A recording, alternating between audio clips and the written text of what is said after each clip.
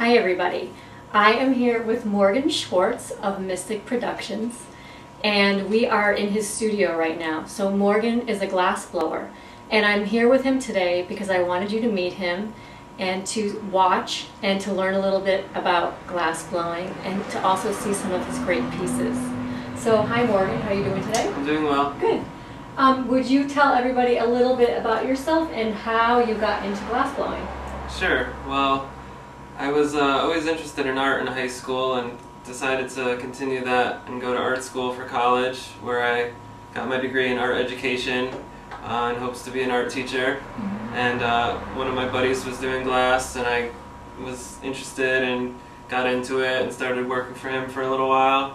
And then um, after college I took a class at the Corning Museum of Glass with a Venetian master. It was two weeks that really um, got me very inspired and it made me feel like this was something that I wanted to mm -hmm. devote myself to. And then I took another class out in Eugene, Oregon um, at the Eugene Glass School and learned from many other talented friends of mine and just kind of stuck with it, threw a lot of glass out until I finally got the feel for it and here I am today. And it's something you love to do.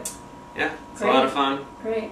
So you uh, you were telling me that you're using a particular technique and particular materials to do your glass blowing. Could you describe that for us? This technique is known as lamp working or flame working, which is basically manipulating the glass over a bench mounted torch. Um, and I'm also using rods and tubes of um, Pyrex glass or borosilicate, mm -hmm. which is a hard glass that was developed by Corning for the chemist chemistry supply industry. And um, it's just very forgiving and very good um, as an art media. Is this the type of glass that we're using in our kitchens, for example, for cooking? Corning? Yes, it's the exact same, same type? glass. Okay. Yep. Would you mind showing us some how you do some of your work? Sure. Um, okay. Yeah, I'm working on some holiday ornaments today, so okay. I think I'll make one of those. Yeah, sounds then, uh, good. Alright, well, this is my torch. Um, it's pretty much the main tool that I use. It's fueled with oxygen and propane, and uh, there's actually an inner fire and an outer fire, mm -hmm. so you can control the size of the flame. and I have mine on a foot pedal right now. So I'm going to make a, a holiday ornament and I'm going to use a little piece of this flat rod.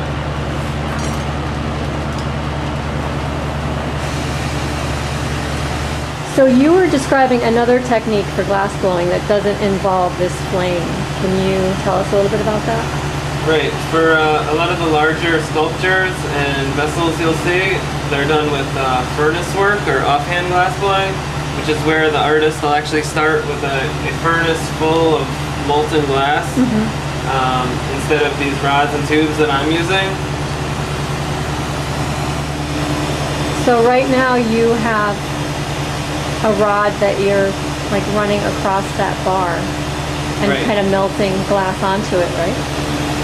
Um, yeah, I'm laying stripes down basically. Mm -hmm on one side of this rod. Okay. And this is cobalt blue, which will pretty much stay exactly the same. Mm -hmm. Okay. So those stripes are going in between the others. I don't know if you can see it. The flame is on it. I don't know if the camera will pick that up, but you can see it now right here.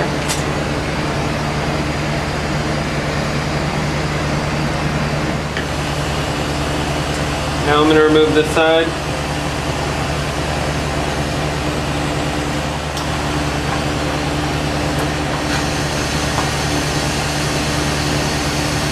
So you did like an amber and a cobalt blue and now you're doing the blue for the loop.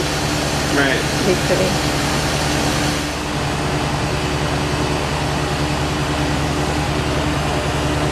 Yeah, it's already starting to turn into a spiral.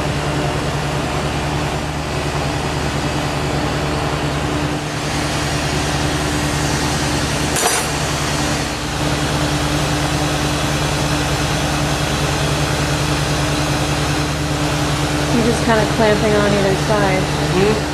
I'm gonna open that up and round it out. Mm-hmm.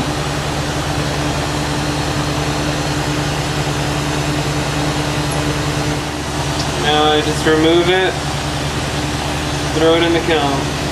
Mm-hmm. Hmm. Beautiful how a slab turned into that. So it would be great to uh, see some of the other pieces that you've made. Can you show us some of that? Sure.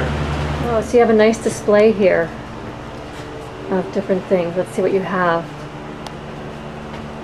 Wow, what's this? This is Um, really interesting. That's a sculpture I made um, at the Eugene Glass School with um, when I was taking a workshop with Robert Mickelsen, Mhm. who's one of um, my biggest inspirations. He's really been uh, at the head of the art industry with, Mhm. or the art movement with the borosilicate glass, and now he's just someone I've always uh, looked up to in that in that world. Wow, it's really interesting. Does it have a name? Actually, it does. Surrealist vessel. Surrealist vessel. Yeah. Yeah, it does look a bit surreal. Your pieces are all very unique. Can you tell me um, where you get your inspiration for a lot of these? Uh, well, definitely nature uh, would be a main thing. A lot of flowers and Mm-hmm. animal life, like frogs and turtles and fish, um, are definitely ideal shapes to make out of glass. Yeah. And also a lot of traditional um, glass blown forms, like Venetian techniques of shaping of bottles and wine goblets and things like that. Mm-hmm. Um, I really like the delicate look of the Venetian glass, and also um, architecture and sea life, um, Mm-hmm. and also just a lot of just the amazing work I see on the internet, just inspiring other artists that I look at. Mm-hmm. You've got some wine stoppers. And these have some interesting patterns in them. This this right here. How does that how do you get that? I actually use a pin cushion or a, like a spike pad that I mash the glass onto, and then use gravity to make it implode. Oh, So it's really interesting. it's a It's very cool. cool process, yeah. Yeah. Here are some pretty jars with cork stoppers. These are all pendants down here, right? Yep. Oh, it's so pretty. Got some like Pendants almost are always popular. Yeah, got hearts. This is really interesting too. This uh, effect in here. What's That's this? uh, dichroic glass, mm-hmm. which is a coating on sheet glass that uh, when it when it moves at all in the glass, it breaks into splinters and forms that sparkly stuff you see there. Your girlfriend makes jewelry, right? And she's using some of your pieces for. Right. She For jewelry. actually uh, works for a jeweler, Mhm. and uh, she helps me by stringing some of my pendants. Uh-huh. Yeah, very pretty. Like that. Wow, with lots of different beads too. Your pendants. Yeah. Yeah, I like to make multiples of something to practice, so I'll make 10 at a time just to really hone my skill on one thing before I move to the next. And that's a Mhm. good way to, you know, build up stock. I'll, you know, switch the colors and just do some variation on the shape and just, you know, keep on practicing. It's basically Well, it's a what it good way to, to. build up your your um, skills too, right? Get good Right. at one all technique and then move on to the Yeah, it takes takes a lot of practice. Even Mhm. just not doing it for a day or two, you'll notice the difference. really So I try to blow glass for a few hours pretty much every day. every day. Yep.